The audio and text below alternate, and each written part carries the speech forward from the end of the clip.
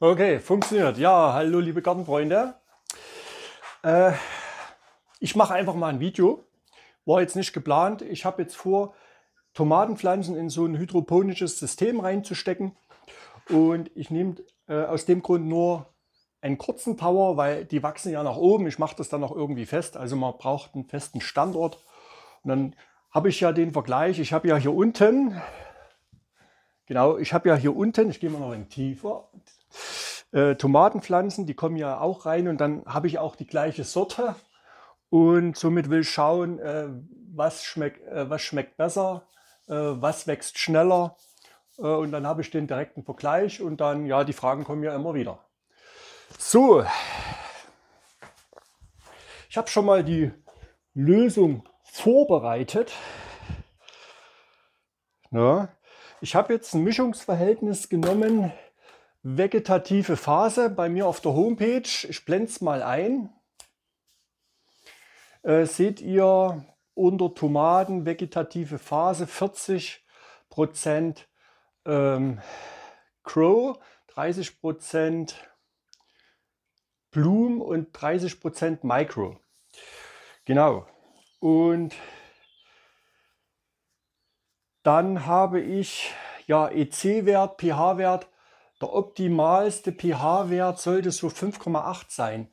Da werden, es sind ja insgesamt so um die 14 Nährstoffe in den, ähm, wie heißt das, mineralischen Dünger. Und die werden in dem Bereich 5,8 am besten aufgenommen. Ja, und wir messen einfach mal die den pH-Wert mit dem ja, pH-Pen heißt das. Und dann nehme ich mal hier dazu noch meine zweite Kamera.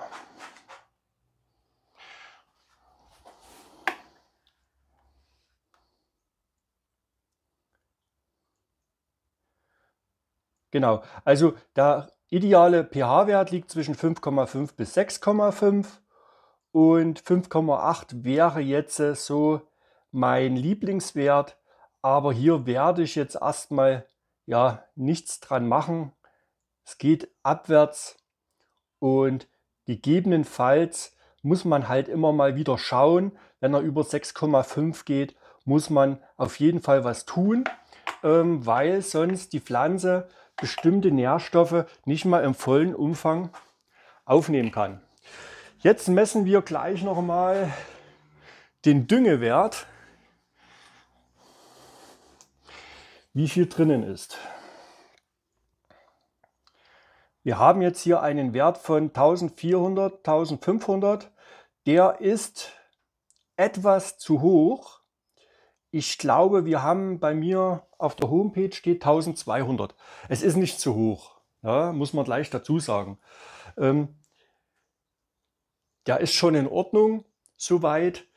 Es ist keine Gefahr da. Ähm, ich will aber lieber ein bisschen weniger pH, äh, EC-Wert haben, ähm, weil ja die Pflanzen jetzt noch in der Wachstumsphase sind und Blätter bilden müssen.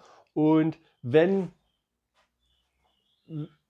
ja, wenn genug Dünger da ist, dann muss die Pflanze auch keine Wurzeln mehr bilden und sucht auch nicht.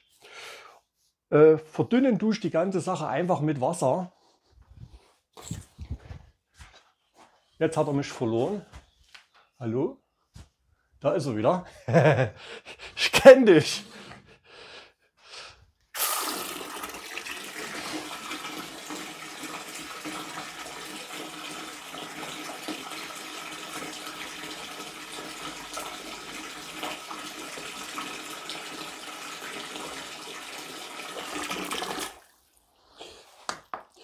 Sollte, äh, es du den Dünger anmischen und es ist zu wenig, habe ich noch einmal im Verhältnis für diese Sache 40, 30, 30 mir eine kleine Flasche mit Wasser gemacht in einer hohen Konzentration und dann gebe ich einfach mal äh, einen Sprutz dazu und kann sozusagen dann auch wieder den Düngewert nach oben bringen. Und durch die Verdünnung haben wir jetzt äh, weniger. Muss natürlich nochmal richtig, äh, ja, quasi durch, durchmischen. Aber ich fülle hier noch ein bisschen auf. Nicht mehr viel, weil ich wollte auf 1200 gehen.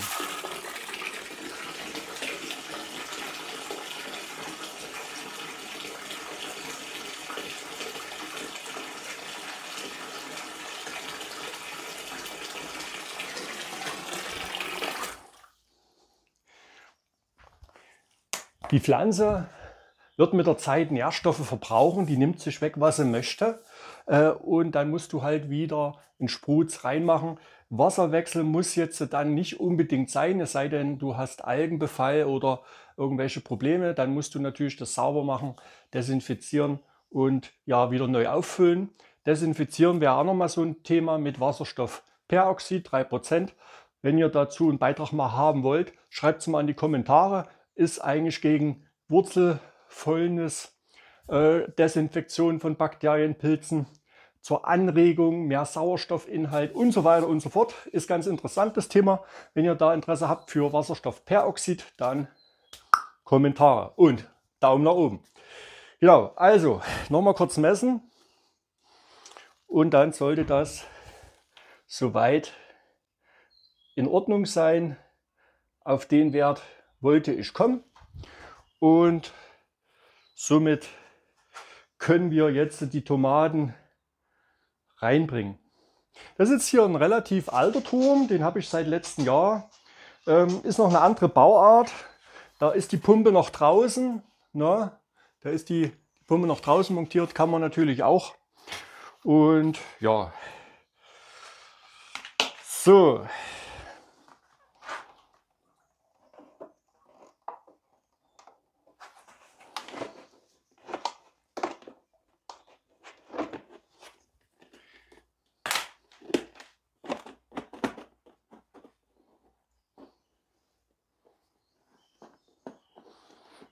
Ach, ist noch eine ganz andere Bauart. Die ist nicht ganz so stabil. Ich merke es gerade.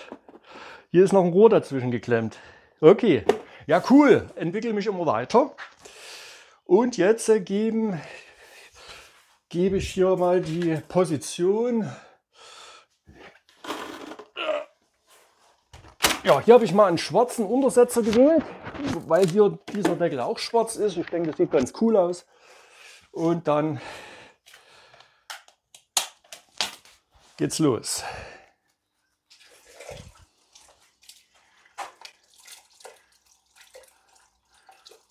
Das funktioniert wunderbar. Und ja, dann fangen wir einfach mal an, die Tomaten reinzustecken.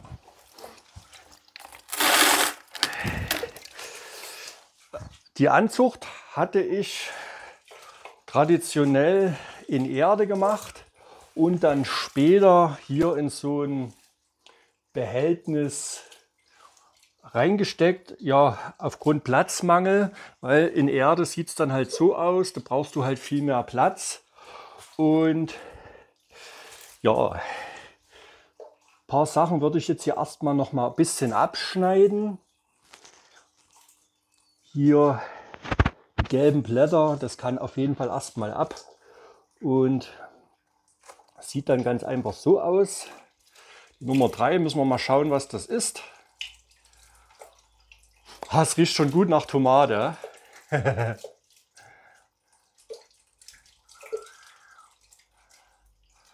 genau. Und dann soll das nämlich einfach hier so rein. Ja, das ist natürlich jetzt nicht so gut. Ah.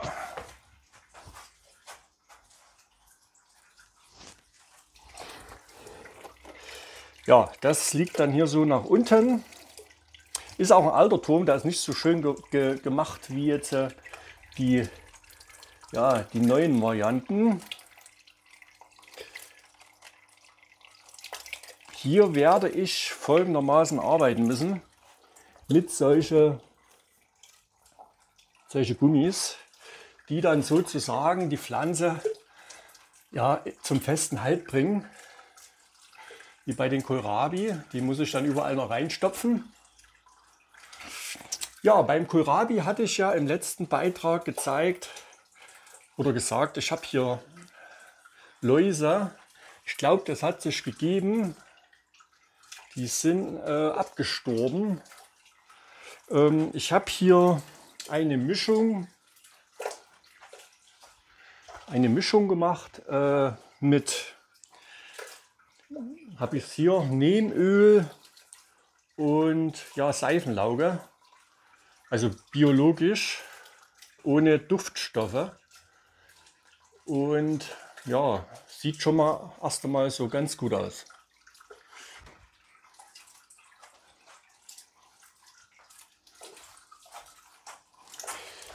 So,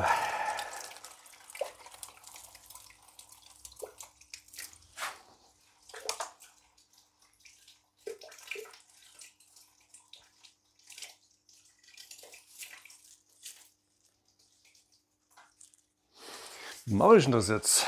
ja, wieder mal unvorbereitet, ja. Ich habe einfach gesagt, ich mache jetzt mal ein Video. So, die Nummer 3.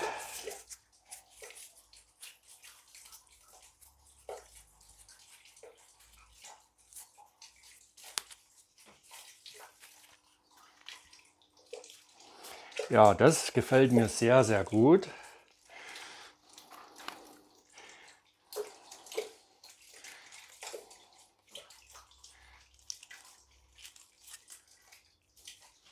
So, so sieht die ganze Sache aus.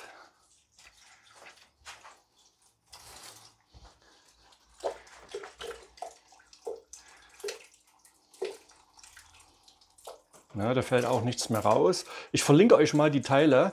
Äh, die gibt es auch, äh, wo es die Gitternetztöpfe gibt. Wer jetzt hier mit die Ringe arbeitet, ähm, da passen die wirklich super rein.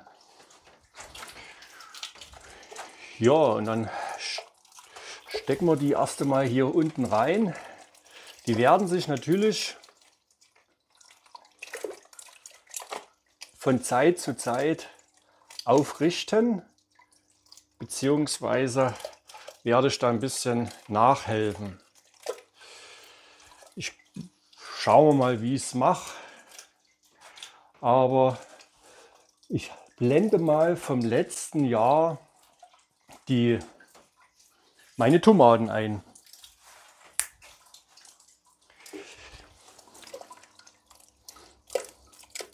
Ja, ist soweit in Ordnung. Machen wir das so.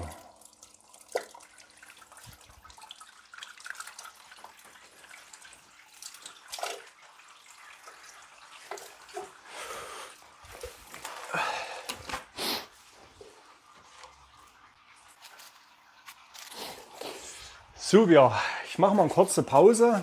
Ich bestück das und dann kommen wir am Ende nochmal wieder. Ja, liebe Gartenfreunde, die Sachen sind zurzeit ausverkauft im Grow Shop und ich habe mir gedacht, ich druck mir die einfach aus flexiblen Filament. Funktioniert wunderbar, ich zeige es euch mal. Genau, die Sachen sind gerade im Shop ausverkauft, in dem Grow Shop. Und da habe ich zu meinem Sohn gesagt, äh, hier hast du die Vorlage, bastel mal. Ja, das ist hier auch so. Ne? Und tatsächlich hat er ein, ein wunderbares Teil hier zusammengebastelt. Das ist ein bisschen dünner, das ist der zweite. Und der ist noch mal ein bisschen dicker. Ja, also super. Und ich denke, da tritt dann auch hier kein Wasser aus. Vielleicht werde ich das in meinem Shop mit anbieten. Muss mal schauen. Ja, so ein Druck, neun Stück, dauert schon mal über vier Stunden. Achso, und wir waren ja bei den Tomaten, liebe Gartenfreunde. Ähm, ja, berichte ich ja gerade drüber. Der Beitrag war schon ein bisschen älter. Ich wusste jetzt nicht, ob ich ihn bringen soll oder nicht, weil so gut ist er mir jetzt nicht ge äh, ge geworden. Und ja, aber ich denke, es hilft einen vielleicht weiter. Und hier sieht man natürlich, dass sich die Tomaten wunderbar schon ja, äh, vom, nicht vermehrt, aber ja, vergrößert haben.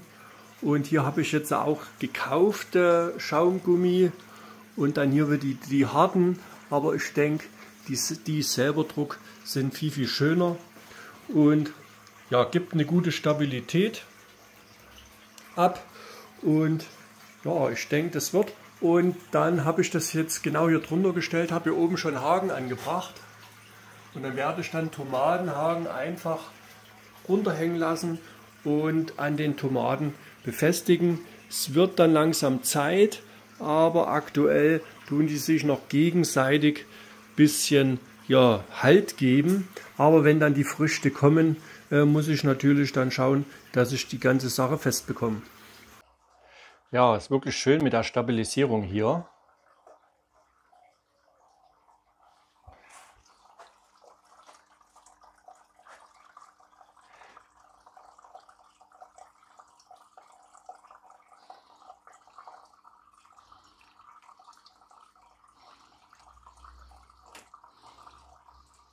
Ja, man sieht schon, dass das andere Pflanzen sind. Die sind sehr dünn. Das ist Yahodo. Ähm, das sind für mich die bestschmeckendsten kleinen Party-Tomaten, die es gibt. Also es werden richtige Trauben. Und ja, die habe ich natürlich dann auch noch mal so nach oben drehen, ne? Licht nach oben. Ähm, die habe ich natürlich dann auch noch mal richtig in Erde hier unten drunter. Und jetzt sieht es gerade so aus, die Sonne ist wieder da. Die sind zum Abhärten hier.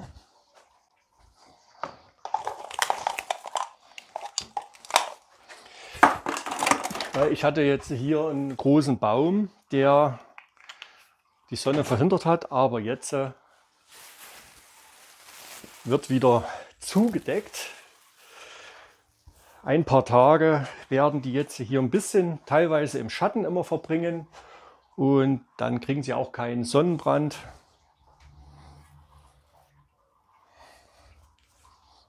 So, okay. Gut, schön. Dann gucken wir es uns noch mal aus der Nähe an.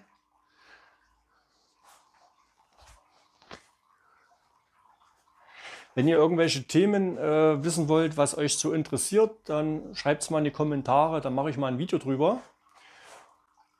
Und ja, das richtet sich jetzt dann auch nach oben. Und wenn natürlich dann Früchte rankommen, die sehen jetzt sehr, sehr dünn aus hier. Ja, schauen wir mal. Zu zeitig angebaut, zu zeitig angepflanzt. Ja, aber allerdings, wenn jetzt hier Geiztriebe kommen, also Geiztriebe heißt ja, hier zwischen bilden sich dann Triebe, die nennen sich Geiztriebe. Die kann man rausbrechen. Die herausgebrochenen Triebe kann man in Wasser reinstecken und in, auch in so einer Steinwolle. Habe ich ne, in so einer Steinwolle hier reinstecken. Dann bilden sich Wurzeln und dann könnt ihr die Geiztriebe auch einfach an, in, den, in den Turm reinbringen. Wäre interessant, wer jetzt äh, mit Erdbeeren anfängt, hydroponisch, und die Erdbeeren bringen ab Juli dann, August keine äh, ja, Erdbeeren mehr, weil ihr halt so eine Sorte habt, die nur im Juli, im Juni kommt. Dann könnt ihr dann äh, einfach euch vorher solche Geiztriebe abbrechen von den Tomaten und dann den Turm mit Tomaten weiterführen. So habe ich es letztes Jahr gemacht. Das könnte ich eigentlich noch mal einblenden.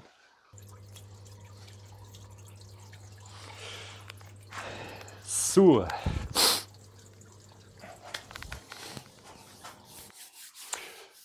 Dann sind wir am Ende angekommen vom Video. Und ja, Daumen nach oben, Glocke aktivieren für mehr Content und schreibt rein, was ihr für Content haben wollt. Dankeschön und tschüssi. Hier oben ähm, habe ich gerade eine Anzuchtstation mit Salate. Ist ja nicht so, dass ich keine habe, aber irgendwann esse ich die vielleicht mal auf, obwohl es Pflücksalate sind. Das heißt, ich nehme dann immer nur so ein paar Blätter ab und es wächst nach. Aber ja, habe halt ein paar Salate nochmal gemacht. Weil es zu wenig ist, äh, sind hier dann noch mehr. Ein bisschen schattig und ja, zu Abend kann man sie raussetzen. Und ja, und das sind verlorene Tomaten, die ja weiß ich noch nicht, was ich mit denen mache. Aber wie gesagt, die wachsen einfach in Wasser. So sieht das aus, ne? Also ähm, den Pflanzen ist es vollkommen Wurst, äh, worin sie gedeihen. Ähm, aktuell habe ich hier keine Nährstoffe drin, nur mit Wasser aufgefüllt. Die Blätter unten zeigen schon so ein bisschen gelb. Aber naja, kann man ja abschneiden. Und ja, weil wir gerade hier sind, geht's los mit Erdbeeren. Das waren Erdbeerpflanzen, die kamen ohne Erde, die waren über Winter, waren die Pflanzen eingeschlagen in Sand mit blanken Wurzeln. Ähm, müssen wir mal schauen, die sind jetzt nicht so schön wie in meinem Garten. Klar, die bringen hier Früchte, aber das Blattwerk ist mir persönlich naja, noch ein bisschen zu mager. Aber vielleicht bin ich auch noch ein bisschen ungeduldig. Und dann muss ich einfach mal ein bisschen abwarten, wie das sich so entwickelt. Okay, liebe Gartenfreunde, weiter geht's im Video.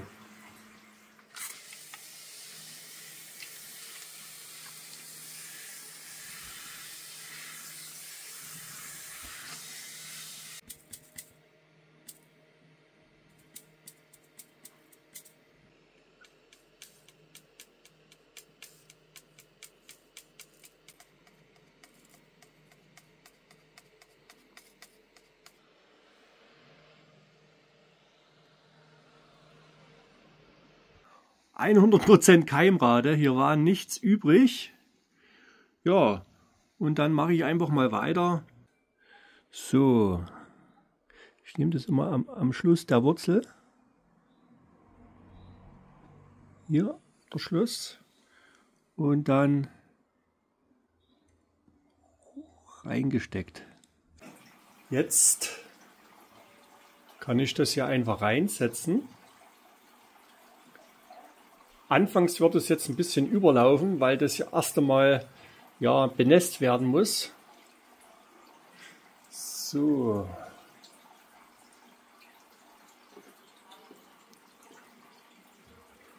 Ja, und somit ist die Anzuchtstation ja in Arbeit.